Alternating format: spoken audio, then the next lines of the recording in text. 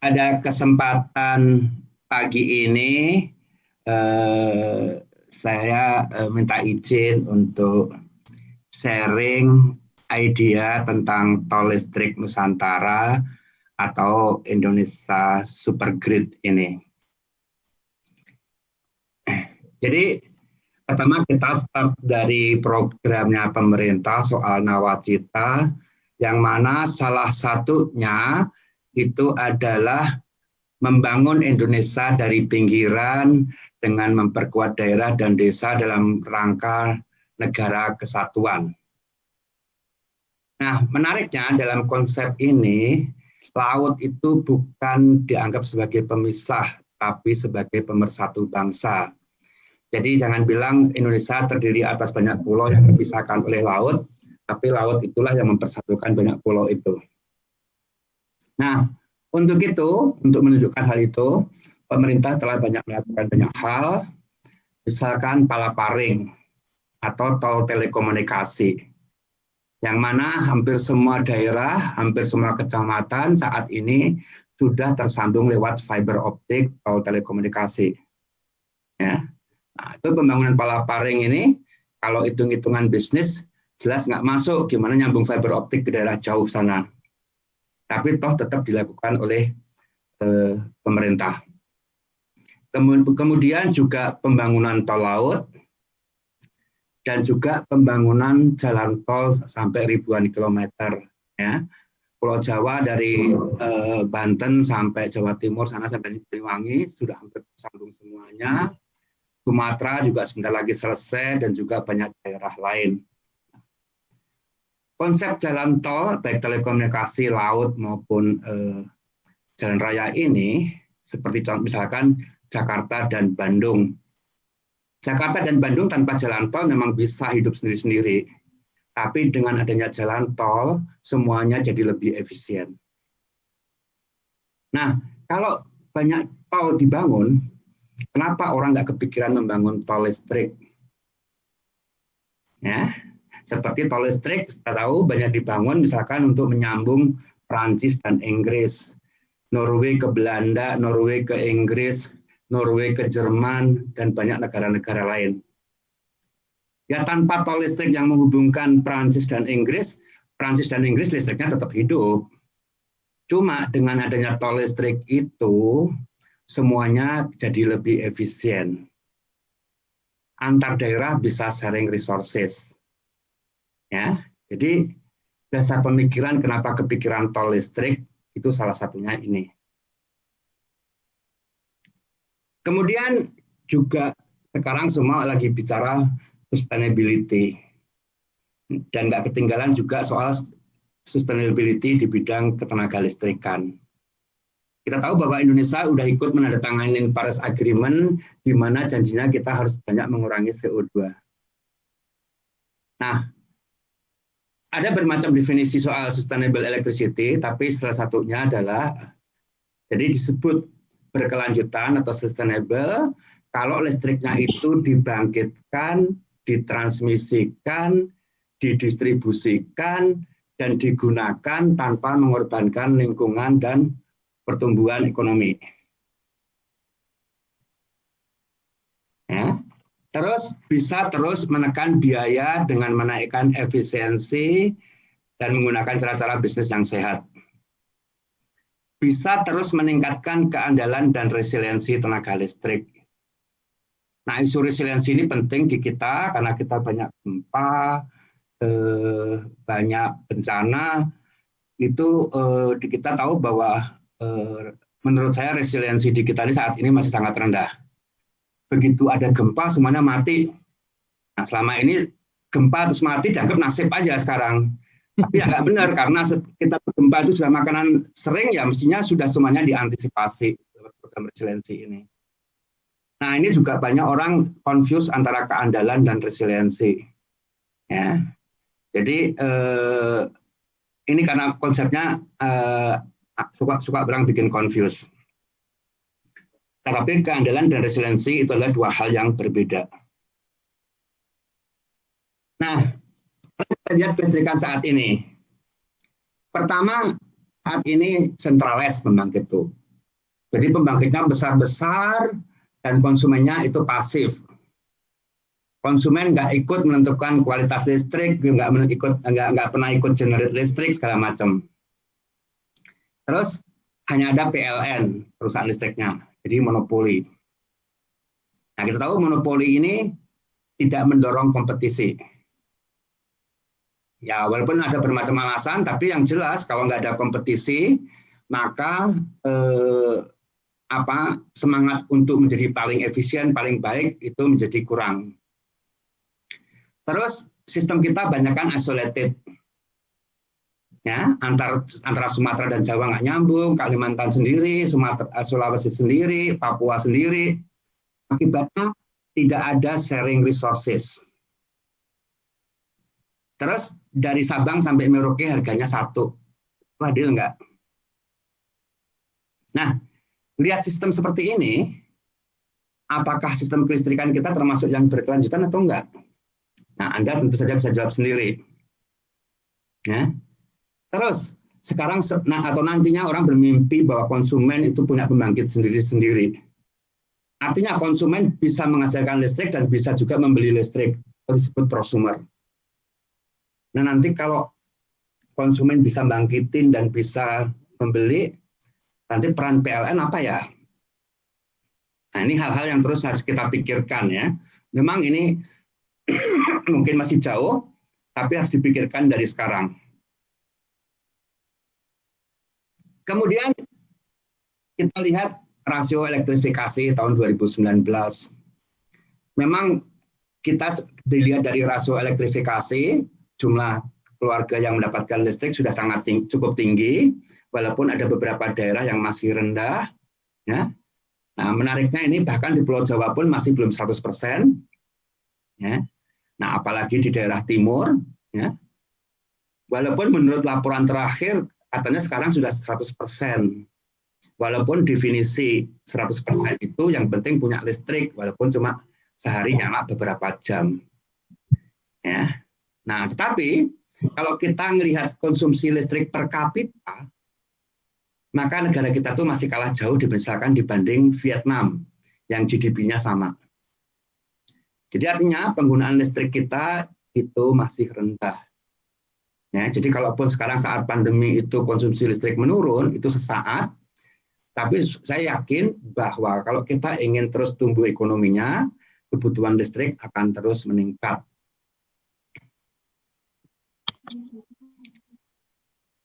Terus kalau kita melihat penggunaan sumber energi, pada saat ini kita itu masih dominasinya batu bara.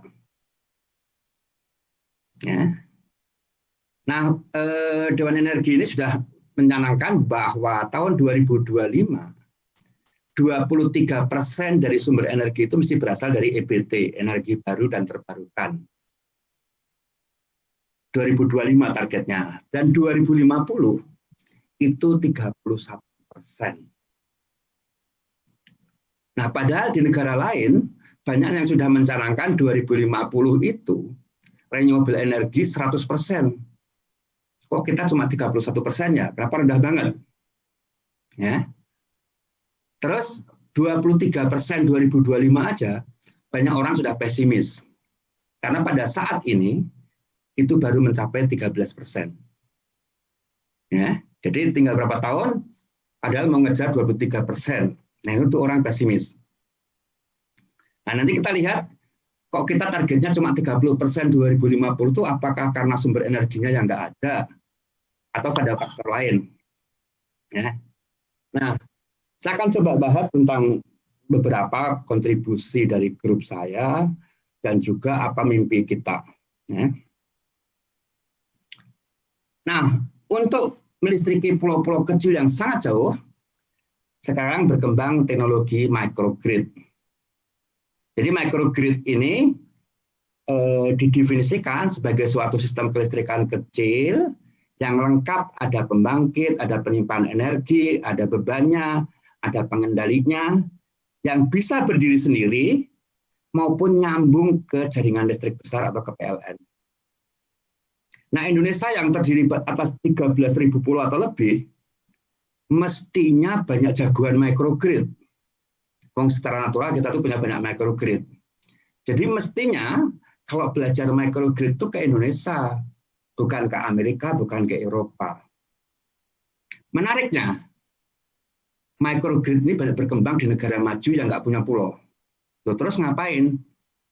Ternyata di sana microgrid ini sangat berguna untuk mensuplai kelistrikan bagi konsumen-konsumen yang punya kebutuhan khusus. Misalkan seri high quality. Nah, jadi di sini IC microgrid kita perlihatkan contoh bisa nyambung ke PLN bisa berdiri sendiri. Keuntungan dari IC microgrid itu power converter yang diperlukan sedikit. Standarnya jelas, Jeleknya, antar semua komponen harus disinkronkan. Nah ini kalau di remote area di daerah timur Indonesia sana, itu masalah susah. Karena komunikasi sering tidak tersedia dengan baik. Kemudian ada masalah daya reaktif. Jadi selain daya aktif, ada daya reaktif.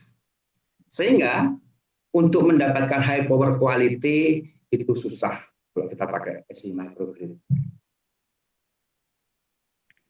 Nah, bandingkan sekarang kalau pakai DC microgrid, jadi jaringannya pakai DC. Di sini kita nggak punya masalah sinkronisasi. Sehingga high power quality itu relatif lebih mudah dicapai. Terus nggak punya masalah daya reaktif. Problemnya standarnya sangat sedikit. ya, maaf. Terus banyak konverter daya yang diperlukan. Nah, memang ada banyak teman yang sudah melakukan berbagai cara yang menunjukkan bahwa banyak peralatan itu bisa bekerja dengan DC maupun AC.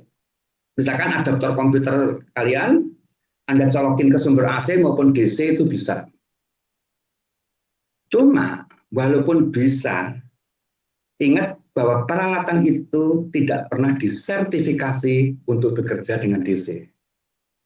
Jadi bukan kadang-kadang bukan soal bisa nggak bisa.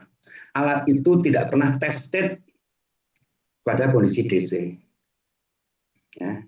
Itu eh, nah belum ada belum adanya standarisasi standar ini bisa kita anggap sebagai peluang, tapi bisa juga kita anggap sebagai tantangan. Kalau buat saya masa backgroundnya power elektronik itu menarik karena di sini banyak sekali pakai power elektronik.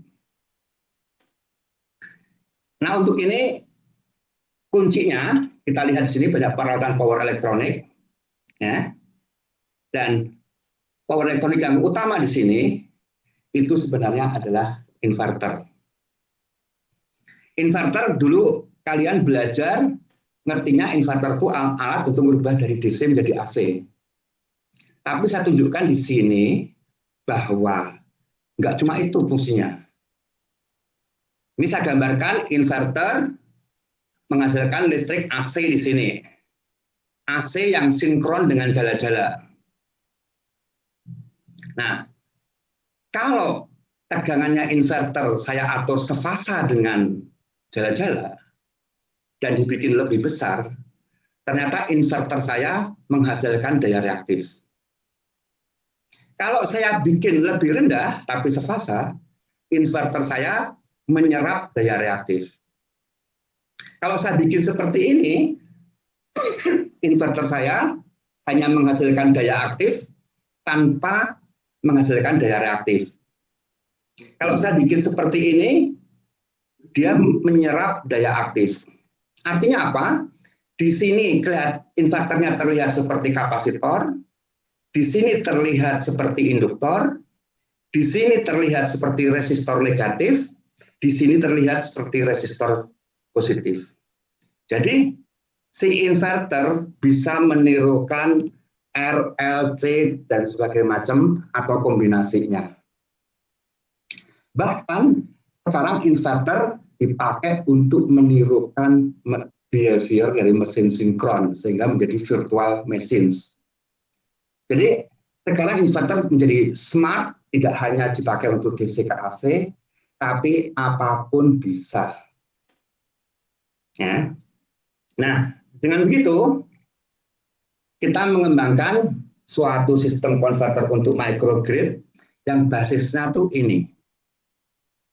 Ini tersedia dalam satu IC sekarang, dan dengan merubah teknik kendalinya, saya bisa fungsikan dia mau jadi DC-DC converter, jadi charger discharger, jadi inverter, jadi rectifier, semua fungsi pakai blok yang sama atau hardware yang sama. Yang berubah cuma kontrolnya. Nah, di situ sudah kita implementasikan, jadi saya punya blok, ya, ada DC-DC converter untuk PV, DC-DC converter untuk baterai, inverter untuk beban. Nah, ini semua pakai blok yang sama, komponen yang sama, dan ini saya bikin satu sistem menjadi power converter untuk PV tower. Nah, semuanya itu nantinya diletakkan di sini di tiap tiang-tiang ini, ya, dan tiap tiang ini lengkap itu bisa mensuplai rumah-rumah, ya, dan antar tiang disambung pakai DC 400 volt. Kenapa ini kepikiran semua ditaruh tiang, semua ditaruh nggak ada yang di bawah? Ternyata kalau di daerah timur sering sekali ada masalah tanah. Karena kalau ditaruh di bawah, itu nanti ada masalah penggunaan tanah. Kenapa masalah? Bukan harga tanah yang mahal, bukan harganya yang menjadi masalah. Ternyata di daerah timur sering sekali kepemilikannya yang nggak jelas.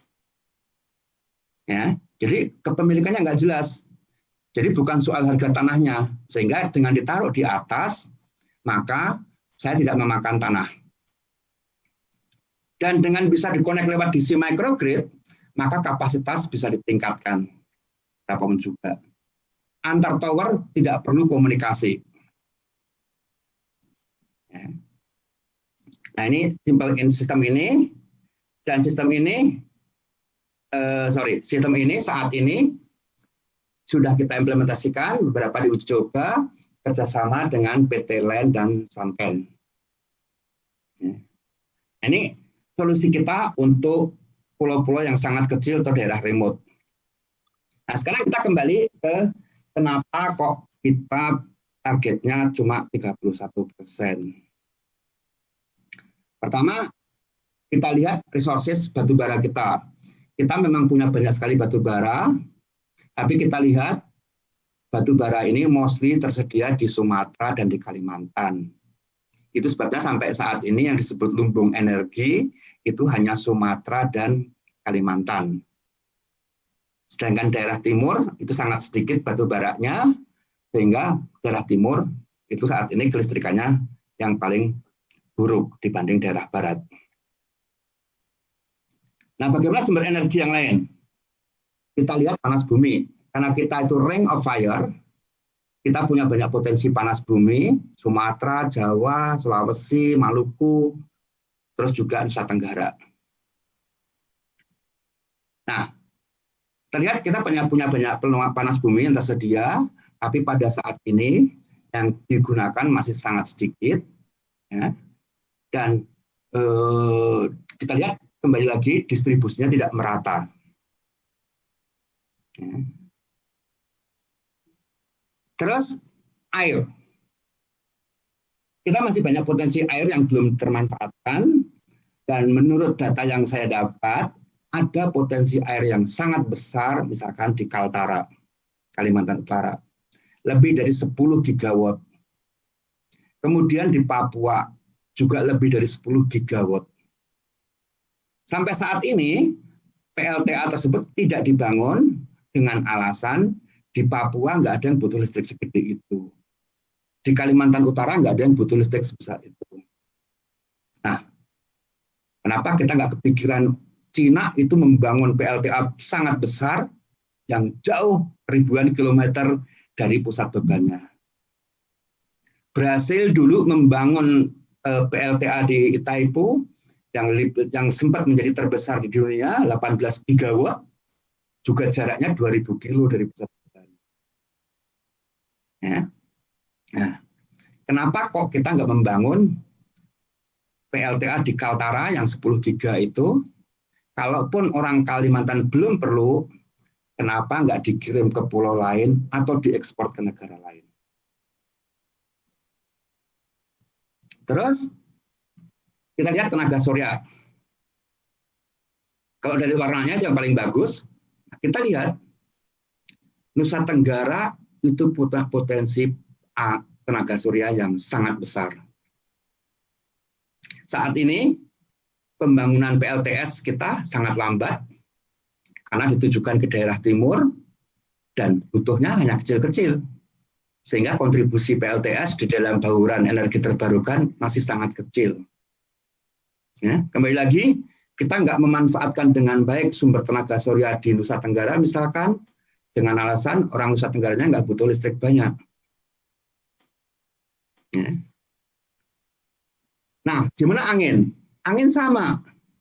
Nusa Tenggara punya potensi yang sangat besar. Sebenarnya Sulawesi Selatan itu nggak terlalu besar.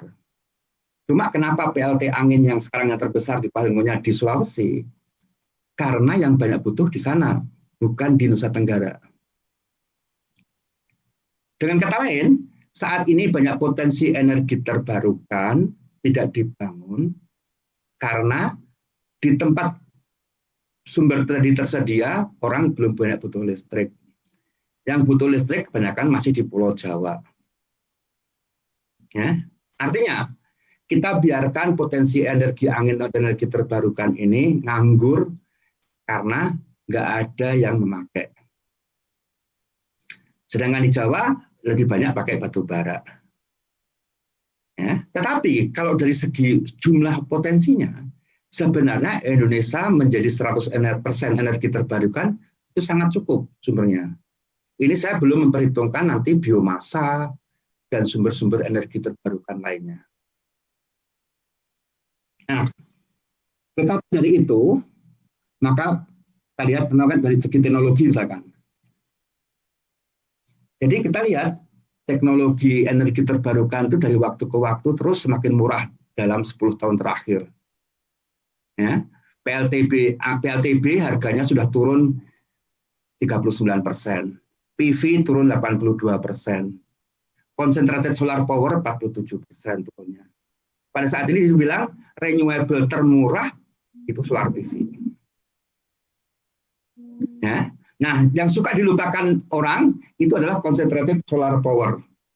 Concentrated solar power itu eh, sebenarnya cocok untuk Indonesia bagian timur dan dia beruntungnya adalah dia itu punya energi storage. Nah Indonesia itu harganya masih relatif mahal karena kita bangun renewable-nya kecil-kecilan. Ya. Nah, sehingga saya itu mimpi seperti orang telekomunikasi tadi. Gimana kalau Sabang sampai Merauke kita bangun tol listrik seperti ini. Ya. Sumatera, Jawa, Kalimantan, Sulawesi, Papua disambung. Sehingga dengan begini, kalau Kaltara dibangun PLTA besar, itu hasilnya bisa dikirim ke pulau lain. Kalau pembangunan renewable itu dibangun di Nusa Tenggara sana, maka potensi angin, matahari semua bisa dipakai. Demikian pula di Papua dan segala macam. Ya, jadi mimpinya adalah saya bisa memanfaatkan sumber-sumber yang selama ini tidak dipakai. Ya, kemudian antar daerah bisa sharing resources. Ya, jadi apakah mimpi seperti ini sendirian? Enggak. Cina, Eropa, India sudah memimpikan apa yang disebut Global Energy Network seluruh dunia nyambung listriknya. Dengan semua nyambung, kata orang India, kalau yang satu gelap pasti ada tempat lain yang terang. Sehingga kita tidak pernah kehabisan sumber energi terbarukan. Dan setiap saat antar daerah bisa sharing resources. Nah, orang seluruh dunia sudah mimpi begini, kita nggak tahu apakah kita-kita cuma mau jadi penonton atau mau ikut jadi pemain. Ya itu. Jadi dan mimpi ini beberapa sudah direalisasikan ya. Terutama di misalkan di North Sea untuk membangun, untuk membangun banyak PLT angin di sana, terus membangun banyak PLTA di Norway, ya, dan beberapa negara lain. Dan yang terakhir mimpi itu adalah Australia sudah menganggarkan untuk membangun saluran kabel ke Singapura untuk jualan energi surya.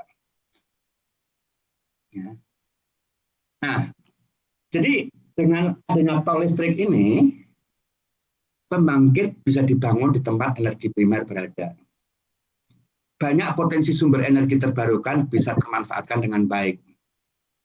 Antar daerah bisa sharing resources Terus kita bisa meningkatkan kemampuan penetrasi sumber energi terbarukan yang berubah-ubah tanpa menggunakan baterai yang besar dan mahal. Terus kita melahirkan banyak lumbung energi baru. Jadi Nusa Tenggara bisa menjadi provinsi yang kaya karena banyak sumber energi terbarukan, ya, tidak lagi menjadi provinsi yang miskin. Terus industri bisa dibangun di tempat yang dekat dengan sumber energi barunya atau sumber bahan bakunya. Ya, ini manfaatnya. Nah, teknologinya apa? Ya, transmisi bisa DC maupun AC. Nah, ini sini saya gambarkan. Ini pakai AC, misalkan untuk kapasitas 3000 megawatt. Kalau AC dilengkapi dengan teknologi FET, ya berkuranglah powernya.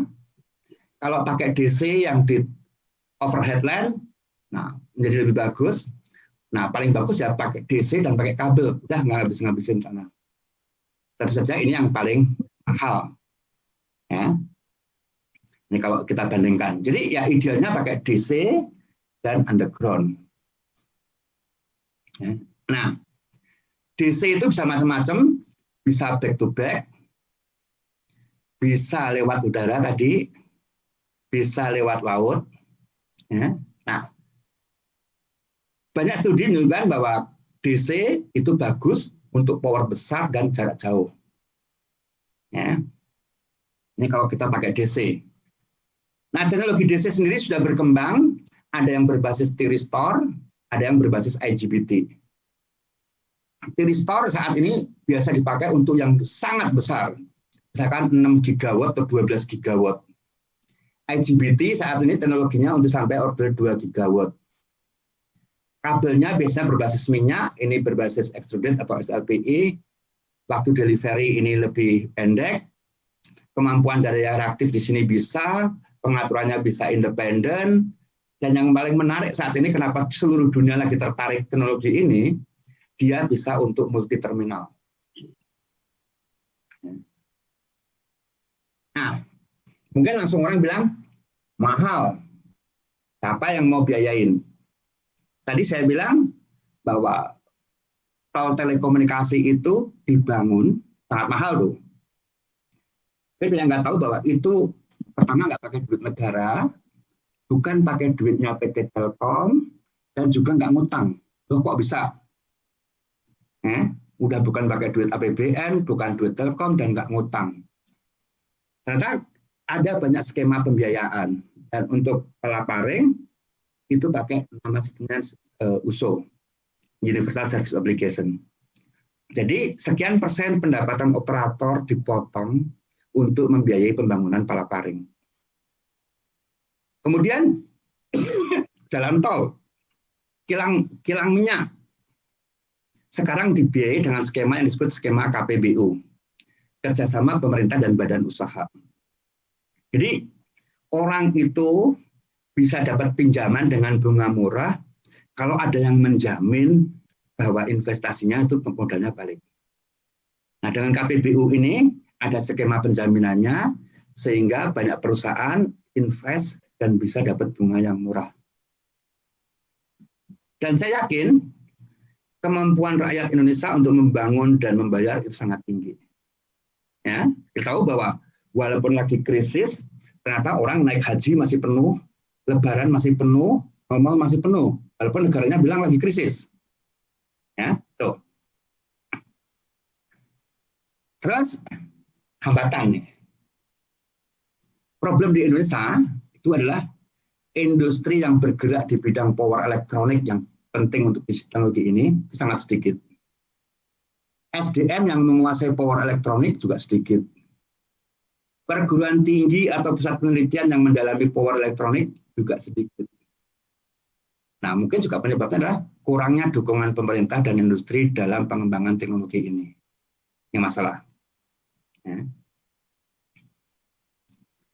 Nah, jadi tadi saya bilang ada super grid, ada microgrid. Nah, mimpinya sistem kelistrikan di masa depan itu terdiri atas banyak microgrid yang bisa berdiri sendiri, bergabung menjadi mini grid yang juga bisa berdiri sendiri, dan semuanya itu disambung lewat super grid. Sehingga kalau ada gempa sehingga super gridnya putus, sistemnya masih bisa berdiri. Bahkan mini gridnya berhenti, micro gridnya masih bisa berhenti. Cuma semuanya jadi lebih efisien kalau semuanya digabung. Ya, jadi memang harus bisa berdiri sendiri, tapi akan lebih efisien dan lebih ekonomis kalau bergabung. Nah, teknologi inverternya juga sudah banyak berkembang, mulai tahun 70-an, 80-an, 90-an, sampai yang terakhir yang sudah well proven itu modular multi-level converter. Ini yang berkembang di dunia saat ini, yang sudah banyak dipakai. Ya. Nah, kenapa multi level itu penting? Kita lihat dari dua level, tiga level ke multi level, maka kita dapat gelombang AC yang mendekat di sini yang mendekati sinus dengan teknologi multi level ini. Dan dengan gelombangnya lebih baik, juga stres pada device itu semakin kecil. Ya. Nah untuk ini pun eh, sorry ini kembali ke multi level. Jadi modular multi level yang populer itu di sini banyak sel, setiap sel itu isinya ini atau ini. Nah ini semua modular dan stresnya itu terbagi merata antar sel. Ya, nah ini tegangannya saat ini bisa plus minus 500 kV. Ya, ini teknologi yang paling common dipakai saat ini. Di sini juga grup saya juga sudah bikin coba mulai bikin kontribusi dan yang paling terakhir itu adalah ini yang kita kontribusikan. Ya, jadi kita bikin modular multi level seperti ini berbasis ini atau berbasis ini yang tujuannya sama modular tapi keuntungannya ini dibanding yang teknologi existing setiap level ini self balance. Jadi saya nggak butuh strategi khusus untuk membalance tegangan di tiap level. Selain itu, riaknya itu sangat kecil. Ya. Nah, kemudian kenapa uh, renewable itu biasanya perusahaan listrik nggak suka dengan renewable energi, terutama angin dan matahari. Pertama adalah intermittent, naik turun, tergantung ada matahari apa enggak, ada angin apa enggak. Kemudian non dispatchable, artinya operator perusahaan listrik nggak bisa minta misalkan tiba-tiba eh tenaga matahari naik, eh tenaga matahari turun, nggak bisa. Ya tergantung ada matahari apa enggak. Akibatnya kita pasang misalkan sel surya 1 megawatt, maka secara kapasitas dalam perencanaan itu nilainya sangat kecil, nggak nyampe 1 megawatt. Kemudian juga karena berbasis power elektronik, maka inersianya hampir tidak ada. Inersia ini penting untuk menjaga kestabilan. Terus kemampuan menghasilkan arus hubung singkat atau arus lebih sangat kecil. Padahal ini penting pada saat gangguan. Kemudian mempunyai kemampuan retro yang terbatas. Retro itu artinya apa? Sistem listrikannya lagi terganggu, pembangkitnya nggak boleh lepas. Nah, power elektronik cenderung sistem kelistrikannya terganggu langsung lepas mengamankan diri sendiri. Nah ini bikin masalah. Terus sensitif terhadap unbalance. Terus menghasilkan harmonik. Nah banyak hal ini eh, sudah coba diselesaikan dengan orang banyak orang. Misalkan dengan menggunakan energi storage maupun super grid tadi. Jadi kalau yang satu lagi kehilangan angin, tempat anginnya lagi ada tempat lain yang pasti kelebihan angin. Yang satu kehilangan matahari, pasti ada tempat lain yang kelebihan matahari. Nah, kalau ada super grid, maka kita bisa uh, menyelesaikan masalah itu. Kemudian dikombin dengan teknologi forecast.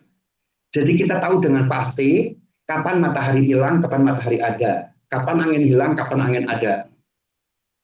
Kemudian karena orang power system belum familiar dengan power elektronik, maka dibikin power elektroniknya itu bisa menirukan behavior mesin sinkron.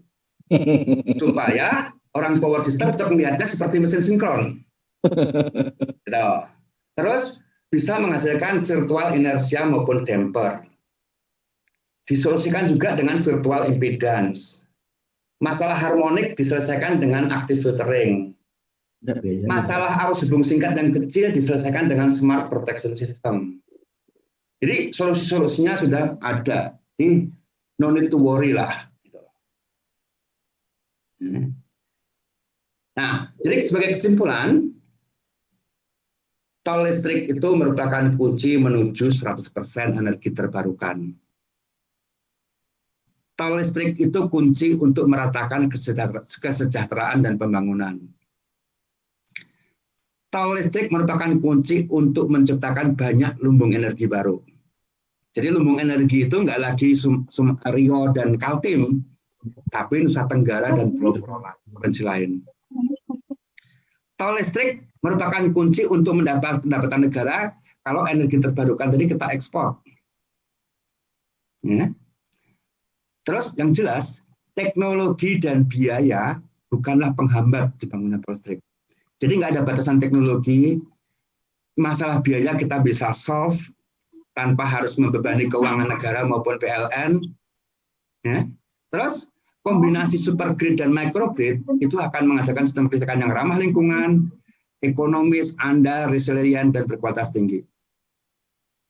Dan kunci semua ini adalah power elektronik. Ya, tuh. Itu kelas saya dan untuk itu telah apa yang kita laksanakan saya berterima kasih kepada Kementerian Pendidikan, kepada LPDP yang banyak memberikan dana penelitian, Stay ITB dan ITB atas fasilitasnya, PT LAN, PT PLN, Komipo, LS, Fuji, dan lain atas bantuan finansial dan kerjasamanya. Dan, dan tidak lupa kepada seluruh mahasiswa yang telah bekerja keras tanpa kenal ini. Terima kasih.